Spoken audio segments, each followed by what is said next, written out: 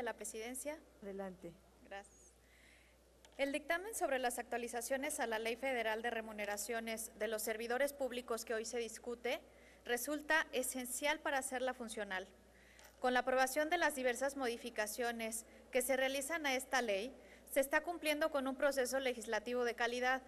Estamos otorgándole a la ciudadanía un ordenamiento que atiende al marco social y jurídico actual, contemplando a cambio imprescindibles para una correcta interpretación de la ley, entre los que se destaca la inclusión, actualización y corrección del nombre de todos los entes públicos que existen en la Federación, para que de esta forma puedan ser sujetos obligados. El cambio en la denominación de IFE a INE y la incorporación a la ley de órganos constitucionalmente autónomos que fueron creados posteriormente a la aprobación de la minuta en el Senado del 2011, como la Comisión Nacional de Evaluación de Política al Desarrollo Social, el Instituto Nacional a la Transparencia, el acceso a la información y protección de datos personales y la Comisión Federal de Competencia Económica. De igual forma, nos congratulamos que se incorpore como principio básico la no discriminación para la asignación de remuneraciones, que acorde con tratados en derechos humanos suscritos por México, establecen que la remuneración de los servidores públicos se determinará sin distinción motivada por origen étnico, de género, de edad, discapacidad, condición social, religión, preferencia sexual, estado civil o cualquier otra que atente contra la dignidad. Dicha premisa protege a los derechos de todos aquellos que se desempeñan en el servicio público para que puedan ejercer sus funciones de una manera digna y responsable.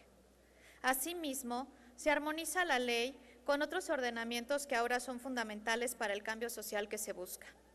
Particularmente, me refiero a los que contemplan los delitos de corrupción por el pago y uso indebido de remuneraciones de los servidores públicos, al uso ilícito de la función pública que se encuentra dentro del nuevo Sistema Nacional Anticorrupción y a la incorporación de las atribuciones que tiene la Auditoría Superior de la Federación en la materia. En este sentido, se modifica el texto para establecer como requisito de procedencia diversas causales derivadas de la buena fe con la que pudieran actuar los servidores públicos para establecer la sanción por recibir u otorgar beneficios mayores a los que corresponden. Con lo anterior, se evita que se trate de una ley que busque castigar a los trabajadores de manera arbitraria. Resultaba, necesario considerar y tener las condiciones que debían cumplirse para la procedencia de la aplicación de sanciones. Para nadie es ajeno la gran cantidad de amparos que se han presentado en torno a esta ley y algunos de ellos han sido concedidos.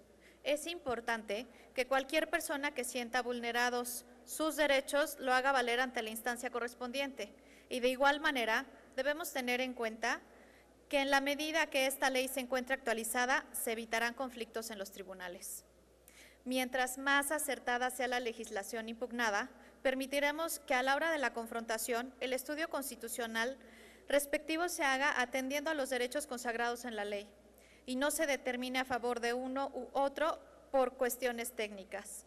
Por lo anteriormente expuesto, el sentido de nuestra votación será a favor, a favor de una ley eficiente en beneficio de la sociedad. Es cuanto. Muchas gracias. Gracias a usted, diputada.